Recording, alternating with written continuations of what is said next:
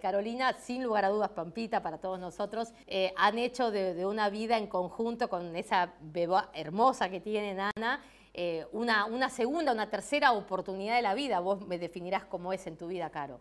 Y yo creo que es la gran oportunidad de mi vida. Em, que yo tengo que hacer de este, de este amor el amor de mi vida. O sea, no, no tengo otra alternativa, no, no, no hay posibilidad para el fracaso. Para mí es, es apostar todo a esta familia. Nuestra vida en la intimidad es muy simple, muy chiquito, muy grandioso a la vez.